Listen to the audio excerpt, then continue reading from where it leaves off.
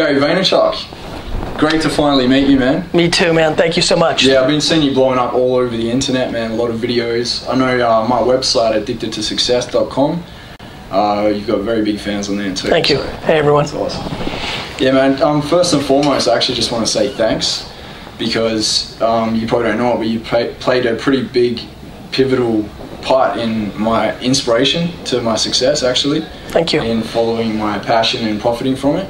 It's funny because about five months ago, I actually uh, walked in and told my pain in the ass boss, I can't work here anymore. It's costing me too much.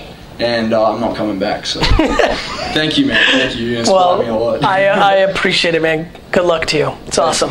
Thank you. So you've done very well with your wine business. Yes. Family wine business. Yes. You've actually built it up to 60 million. Yep. Yep.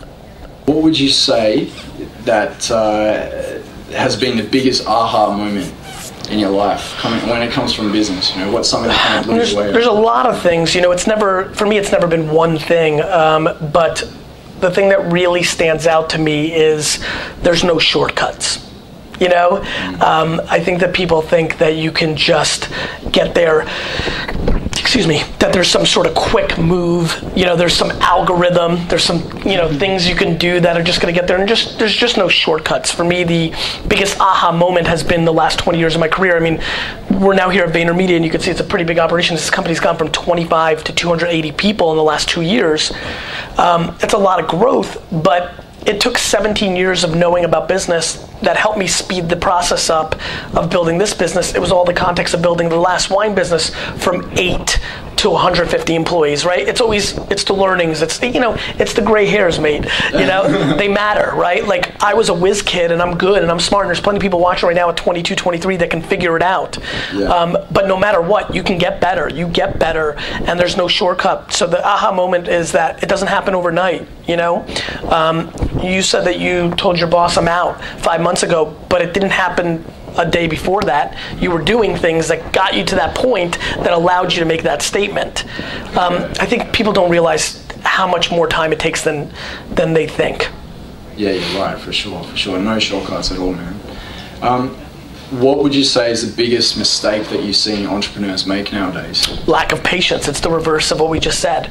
I think, first of all, I think there's a huge naivete. There's way too many people think that they can just be a good entrepreneur because it's trendy. You know, I mean, there's a lot of fake fakepreneurs out there. Yeah. They're out there. I mean, there's a lot of people who are great students, come from wealthy families, have never hustled in a day in their life. They think just because they're graduating from Yale that they should be a startup entrepreneur like Zucks was from Harvard, and that's not real. On the flip side, you don't have to be wealthy and uh, either. You know, there's a lot of kids who are like they. They're immigrants. They think they can do it because there's immigrant stories. I mean, the truth is this: self-awareness, the lack of self-awareness is the biggest issue Yeah. People want to be something they're not. You know, I'd love to be the quarterback of the New York Jets, you know, but it's not going to happen. It's just not here, right? And so I think the biggest thing is that to without the cliche quotes and here's the real answer. Every entrepreneur has strengths and weaknesses. You know, you can't be great at everything. And so self-awareness matters. And you might be great at things that are not sexy, like operations and infrastructure and, and, and profit margin and things that nobody thinks about that I spend a lot of time on. Well, my brother AJ is better at it than I am. And he's been a big factor in the success of this business. I'm great at hunting, getting new business, selling. You know, I think too many people try to do everything, and what they need to realize is their strengths and weaknesses, and they need to focus on their strengths. Yeah, so you guys basically you're complement each other. Absolutely, and we cross over a lot. Like I can do operations, I can do a lot of things AJ can do. He can do a lot of things that I can do. But it's kind of like this, right? And if we focus on the things that are outside of each other, you have more upside. Yeah, and that's awesome that you can keep it in the family as well, man. Yeah, I mean that's lucky. You know, I'm I'm used to family businesses with my dad and now with my brother AJ. Um, they're hard, you know, for people that are watching. They're hard because there's other variables that you don't have with other people. There's a love there that you don't share with other people that make you make decisions not just based on the business. Yeah. You're making decisions with your heart, not just your head. Yeah. And as much as heart, and that's why I have such a great culture, I put in, they're never my brother, and that's just another variable. And so, um, yeah. Yeah. When you first started, you know, you, you went the social media route, you did the video blogging and things like that. You know, you built your business up from three million to sixty. When you started to find a little bit of, say, fame and a little Yes. bit of success, Yeah. Did you was your definition of success different to how it actually is now? Yeah, I think it's always about you know changed. I mean, what's interesting is it, my real story is digital and other traditional media. I built up the business already. Like a lot of people think that Wine Library TV and Twitter took it from three to sixty. It was a part of it, but it was already growing. So I was already successful when that happened. Then that amplified it and took it even further. Then I started becoming internet famous. You know, pure business wise, I want to buy the New York Jets, right? Multi billion dollar ambition. So success has always been predicated on how close am I to doing that. The flip side is that's just the black and white. The gray, the real stuff, the emotional stuff is how many jobs am I creating? How many relationships am I making? Am I having more fun, less fun? You know, I love the fact that people know who I I mean, I, I, love the notoriety. I don't mind it. I, I live for the famous fun. I'm not embarrassed to say, you know, some people are like, oh, I like it. I like it. I mean, first of all, it works for me because I like people. And so anything that creates a, uh, takes away a barrier of meeting new people is awesome for me me being recognized and asked to take pictures eliminates the barrier of me meeting that person. So there's a lot of reasons why I like it. I like the leverage that it gives me to make business happen. Um, they're all the real things. I'm not scared to say them. Um, defining success, I don't know, it's interesting. You know, I'm th- sitting here, I would tell you it hasn't changed that much. Here's why. My true definition of success is doing what you want to be doing at all times. Yeah. Living life on your own terms, basically. It's very cliche, but it's a truth no matter what you are a businessman, an entrepreneur, uh, uh, a, an artist. Doing what you want to do and being in full charge of that to the best of your ability, outside of outside forces, outside of putting food on your table, like outside the core little things, that's success. And I've had that for a very long time. Um, so it hasn't changed that much.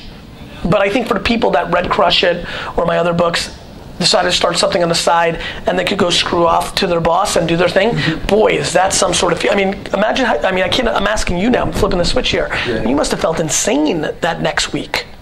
Oh, it's awesome, man! I've been able to actually travel the world. I've you know lived a bit more of my life, like something that you a lot of people do once they retire and they're too old to freaking walk around Italy or India or wherever you want to go. And have very different experiences, right? I mean, like when you're doing those things in your 20s, 30s, and 40s, sometimes you're doing it not married yet, you know, which is more rare in your 60s and 70s, not with other responsibilities, no children and grandchildren. I mean, think about all the people that retire at 65, they want to go live their life. I, I just heard of a story from a friend parents worked their ass off. 65, they went. They're going to spend three months in Europe, and one of their grandchildren's sick, and they're coming back two days later. Uh, so, like at 30, you're less likely. Now you have parents and you have siblings. Uh, we always have things. Life is complicated, but there is no question that you have less I don't want to call it baggage, less responsibility slash the possibility of things happening that take you away from this freedom in your 20s and 30s than you do in your 60s and 70s. Yeah, yeah, you're right, man.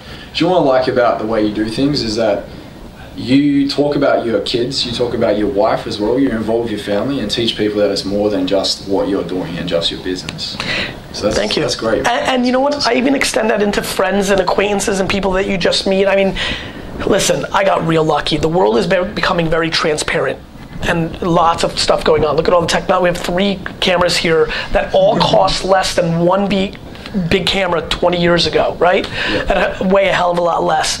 Um, the world is becoming much more transparent, and the thing that's going to be valuable is who you are as a human being. Like your personality has become so important. Yeah. This is the right era for me. I genuinely like people. I genuinely like my book trade stuff that's going on, as you obviously know. Like, I'm trading my time.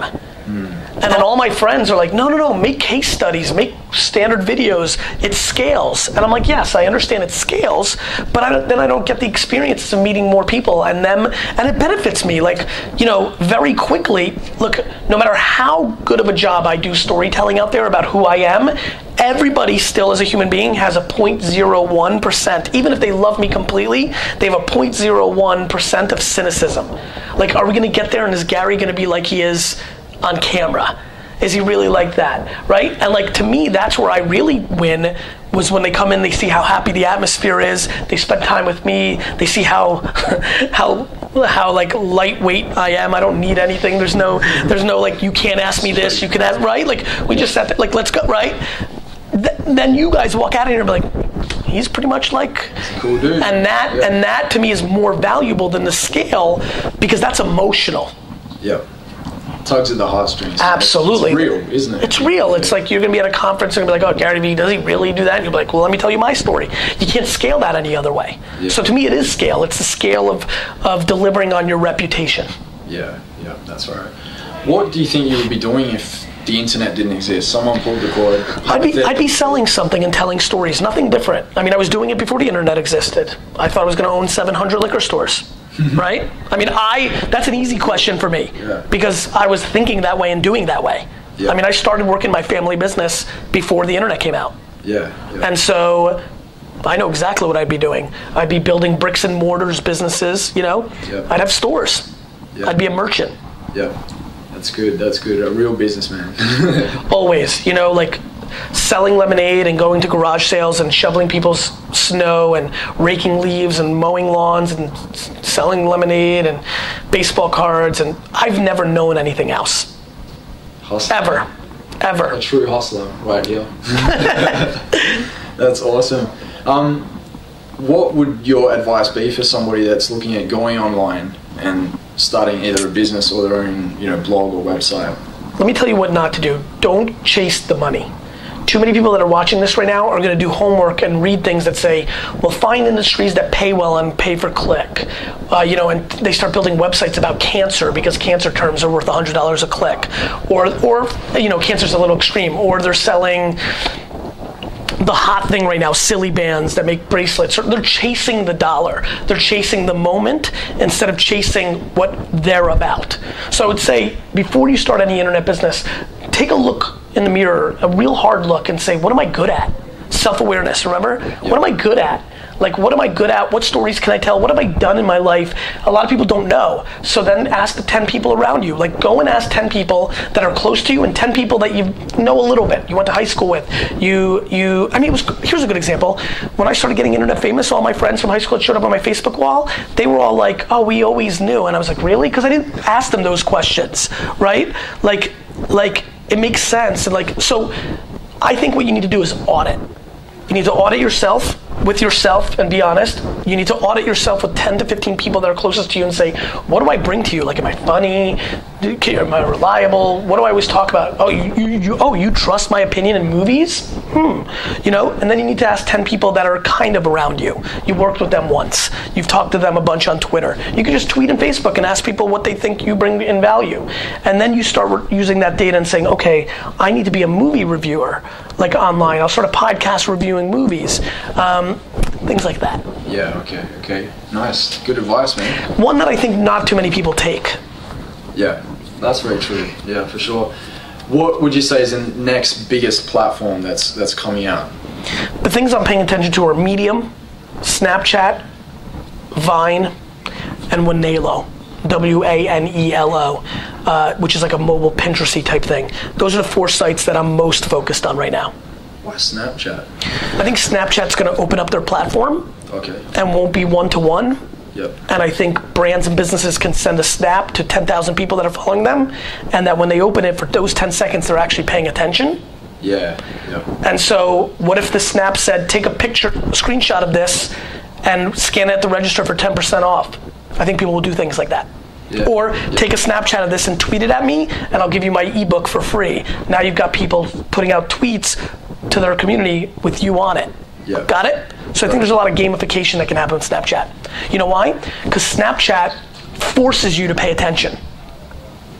Email, Facebook, Twitter, we think we can get back to it. They'll re email me. I'll see it again in my stream. Snapchat, you know that once you look at it, it disappears forever. Yeah. Which requires you to actually pay attention. Scarcity.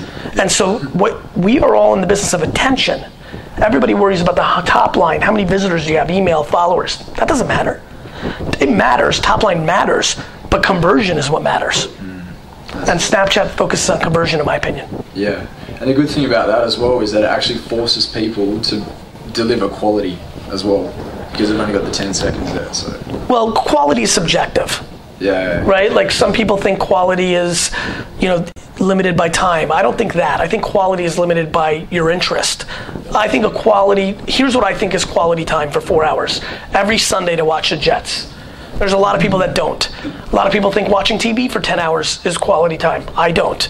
A lot of people feel like, you know, spending an hour writing an algorithm that scales is quality. Some people think spending 15 minutes with some new friends is quality. Everybody has a different definition. Some think the Kardashians are quality TV. Other thinks it's ruined the world. Some people think that Richard Branson and Tony Robbins are quality. Other people don't. So quality subjective. It's art. You like listening to certain music. I think quality is foie gras and sea urchin. You may not. Quality is subjective. What's not subjective is how it makes one feel. And so the customer is always right. Um, but the effort is required. Yeah, yeah, you're right, And That's something to definitely take into mind. Definitely. Awesome. Good. Um, one last question. Please. Um, I've just recently got engaged to my fiance. Congratulations, my friend. Thank you, man. Thank you. And she really loves Moscato. sweet Okay. Moscato. I love it. So um, I want to get a few brownie points here, man. Yeah. And yeah, I want your advice on what do you think is the best sweet Moscato one? So there's a bunch that I'm very fond of. I think the place for you to realize this is a great question. So first of all, Australia makes some good ones. Yeah. Does she like late harvest Semillon? Uh, first of all, you should get her on that. Yeah. So late harvest Semillon from the Hunter Valley, Hunter Valley. Oh yeah. Yep. um, but late harvest, which means it's sweeter. Yep. Um, and then Moscato in general, I think if you focus on the Alsace, Alsatian wines, um, if you go to Alsace uh, and Austria, that's where you can get some great ones. Yep. Awesome, man. Good, Thank you for your advice. Thank you, everybody. Awesome. Wish you well.